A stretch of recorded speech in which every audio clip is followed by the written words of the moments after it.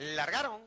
A punto de rodar el competidor número 7, asume la vanguardia por dentro el 1, por fuera la va a buscar la competidora número 8, más abierto. Lo hace el número 10, se viene remando los punteros también por el lado exterior de la pista el 3 y el 9, todos los primeros metros.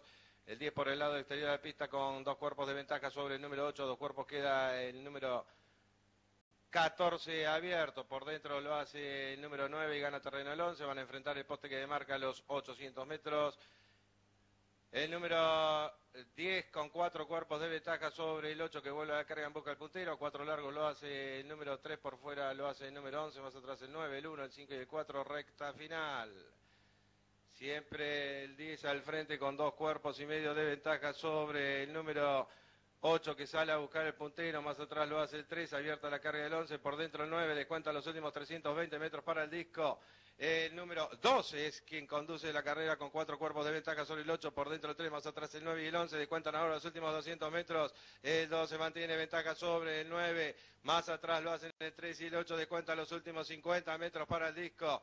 El número 12 mantiene amplias ventajas sobre 8, más atrás el 3, el 9 por dentro, pocos metros para el disco. El 12 con ventaja sobre el 6, el 3, el 9 y cruzaron el disco.